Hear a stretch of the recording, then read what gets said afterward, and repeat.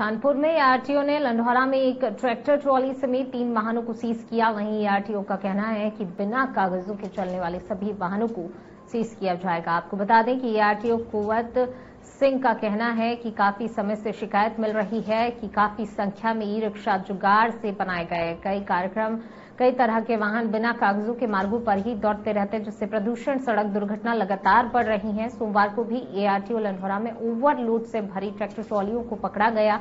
इस कार्रवाई के दौरान दो पहिया वाहन जुगाड़ से बने पकड़े गए। इसके साथ ही आरटीओ का कहना है कि ऐसे वाहनों के खिलाफ बड़े पैमाने पर अभियान लगातार चलाया जा रहा है, जो कि बिना कागजों के चल रहे हैं। और उनका कहना है कि कागजों की समय अवधि खत्म होने और जुगाड़ से बने सभी वाहनों को पकड़कर सीज किया जाएगा।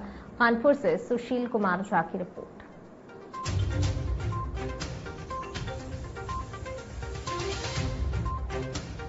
नियमित कार्यवाही है, जिसके तहत कार्यवाही की जा रही है।